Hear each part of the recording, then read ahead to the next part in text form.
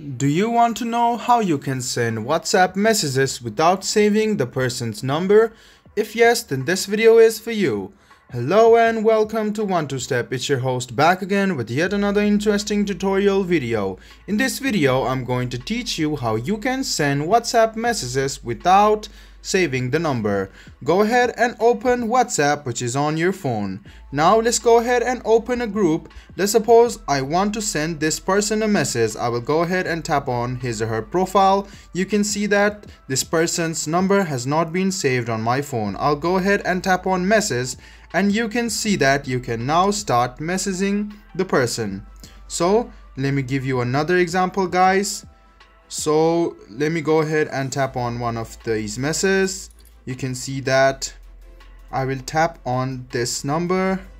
So you can see that I have not saved this number. I'll go ahead and click on message and now you can start messaging people without saving their number. I hope this video was helpful for you. If you still have any kind of confusion, please do mention us on the comment section down below. Like the video, subscribe to the channel and do hit the bell button for more. Hope to see you in the next video as well. Until then, goodbye, take care and make sure you enjoy.